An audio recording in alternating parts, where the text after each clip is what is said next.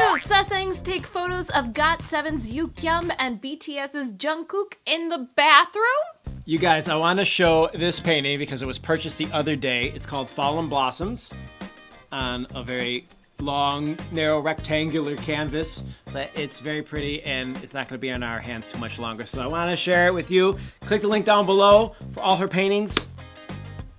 Anything you want to add? It's falling blossoms, but not fallen blossoms, but I like it. On back-to-back days and in different countries, it was reported that BTS's Jungkook and GOT7's Yugyeom were both victims of photography in the men's room without their permission. Yes, in Yugyeom's case, I think it was actually video taken. No. Yes, it was video because somebody heard him singing and so while he was in the stall, they took video and I I don't I haven't seen the video so I don't exactly know what it was, but it was like photo versus video. Oh. There should be no video ever in the men's or women's room ever ever. No security cameras, no None of that. It should never go down. I have to admit, just for my own personal ability to talk as much as I can about the subject, I did a search for GOT7's Yugyeom's video or photo or whatever on YouTube and on Google. It's nowhere, or at least I couldn't find it. I wasn't sure there was video though. I wasn't sure what I was looking for. I was just searching. I mean, if you search GOT7 Yugyeom, bathroom automatically pops right in as the top third word for Yugyeom, oh, yeah. at least for today. Oh yeah. I mean, that's a big deal that a lot of people are apparently searching for it, or a lot of people realize that this is just a, a total no-no. This is like one of the worst things that Sasaeng fans can do for invasion of privacy. Because when people go to the bathroom, I don't know about you, but when I go to the bathroom, I like to be very private. It's like I don't want anyone else in the room. Just let me be in my space and then let me have my privacy. And when I come out of the bathroom, then I can socialize and take photos and videos and stuff like that. A couple of things really got me about these two particular instances of invasion of privacy. One is that it happened to two different K-pop groups on back-to-back days in different countries. BTS's Jungkook happened in Hong Kong at the MAMA Awards. Oh. And then the following day in Malaysia, I think it happened to Yugyeom, mm. the video you're saying. But they weren't at the MAMA Awards when it happened to Yugyeom. I mean, GOT7 was at the MAMA Awards, but then the following day they were doing something else, and it happened. I know that you were telling me it's happened before, but we've never covered this. And the fact that it happened two days in a row in completely separate instances is really, really coincidental and unfortunate. Also, it happened with IOI earlier this year. Okay. The most famous case that I found was Super Junior's Hee Chul, who came out and talked about it happening in 2013. He was still talking about it even in November of this year, how it was so traumatizing for him.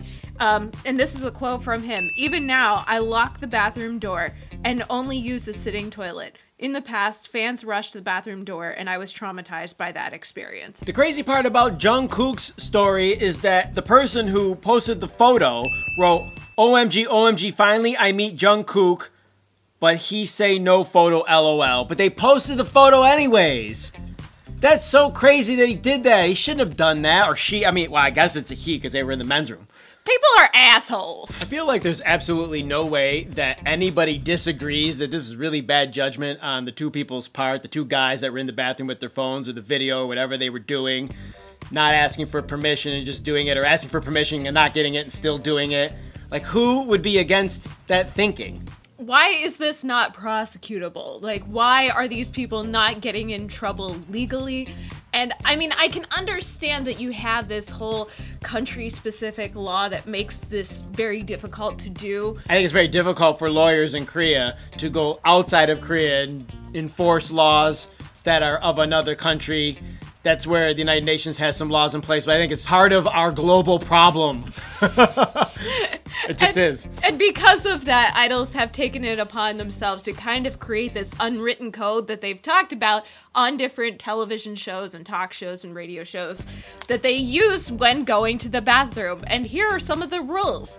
They never use urinals, they always use stalls, but they still have to be careful when they're using stalls and kind of lean forward because fans will get into the adjacent stall, the next stall over, stand on the toilet seat, and still take photos and or video as we have seen in this case. Um, EXO, in fact, actually takes turns standing guard outside the door to protect their fellow members. Yeah, but if they stand guard, then the person who wants to take photo or video can get the video or photo very easily because they're just out in the open standing guard in front of the stall.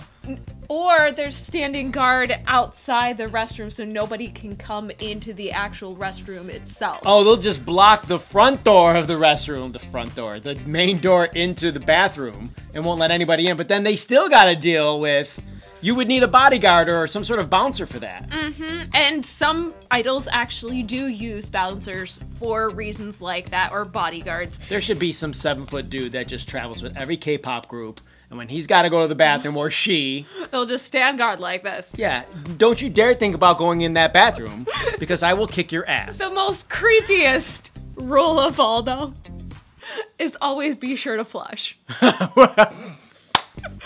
because EXO fans, crazy sasaeng EXO fans, have actually tried to sell frozen urine and feces from EXO members. Get the fuck out of here. How disgusting could somebody be?